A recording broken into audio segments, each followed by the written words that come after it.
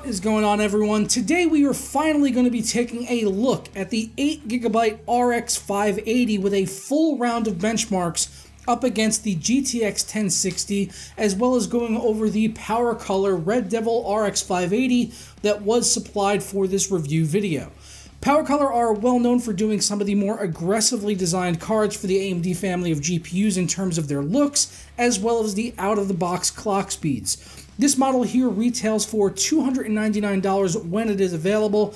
However, if you've been paying attention lately or saw my video on the current state of the GPU market, then you know these cards are few and far between at the moment because of those pesky cryptocurrency miners. This has caused the value of the RX cards to skyrocket, leading to third party sellers overcharging and current owners flocking to eBay to make a healthy profit from selling their cards. Despite that, though, this card does still retail at $299, and we should expect it to eventually return to that pricing as Ethereum mining levels off, so that's why I'm testing it against the NVIDIA counterpart, the GTX 1060, that can be had between 250 to $300 for the 6GB models like I'm using for today's testing. The Red Devil RX 580 uses a dual fan heatsink design to keep the temperatures down on the 150 watt TDP card.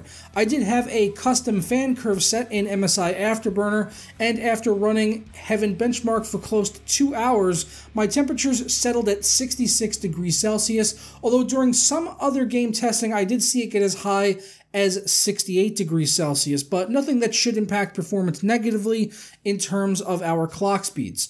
For the core clock, it comes out of the box at 1380 megahertz and a memory clock of 8 gigahertz. But for all of my testing, I did have it overclocked to the highest stable OC that I could get, which was 1440 megahertz on the core and 2250 megahertz on the memory, giving us an effective speed of 9 gigahertz with the power increased by 50% on the RX 580. While the GTX 1060 Founders card here, I also had that overclocked to the highest I could get it, which is an additional 200 megahertz on the core and 300 megahertz on the memory.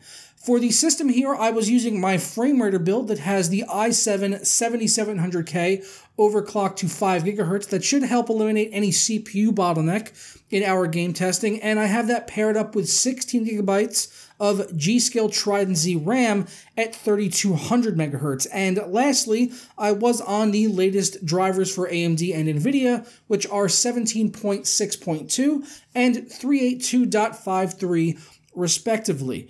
Without further ado, though, let's delve into the benchmarks where we will start off with the average FPS at 1080p on high settings.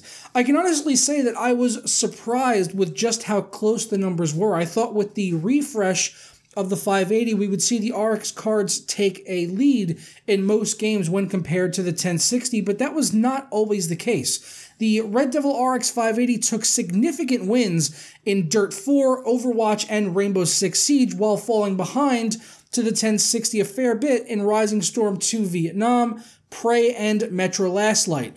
In the other games tested, I saw a difference of only 1 to 3 FPS, which is kind of within the margin of error. So in games like The Division, Sniper Elite 4, Wildlands, and Battlefield 1, we are seeing a virtual tie between these two cards. That doesn't change at all really in the 1% lows either, where we saw pretty much the same thing.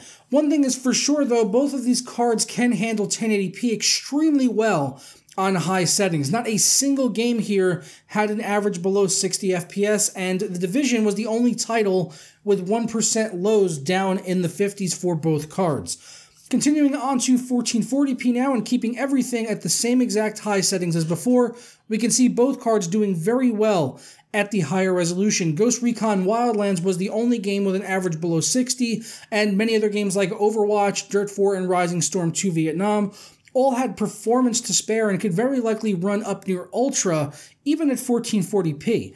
The 1% lows did come down a little lower than I would like to see at 1440p, but I still found all of these games very playable on the RX 580 card as well as the GTX 1060.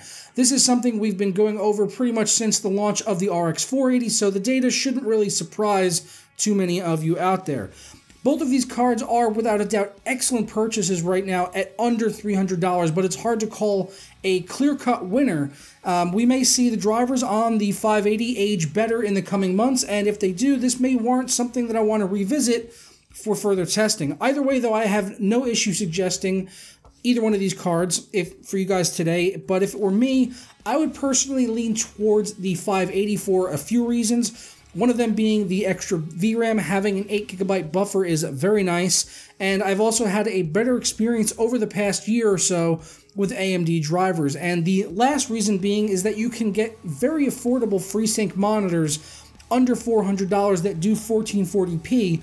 While with the NVIDIA cards, it wouldn't make a lot of sense to spend five to $800 on a G-Sync monitor just to pair that up with a sub $300 card. So to me, that really says that the 580s are a better mainstream card when you do consider those other factors. But always, please let me know your thoughts down in the comments below. I'll be sure to link over to Amazon where you can pick up the Red Devil RX 480. Just make sure that you're not paying above its retail value of around $299 because of the current cryptocurrency mining boom. Also, be sure to leave a like down below if you enjoyed the video and subscribe if you're not already, or if you are a longtime viewer, hit that notification bell so you never miss any of my graphics card reviews and other tech news videos. And I will catch up with you guys next time. Ciao.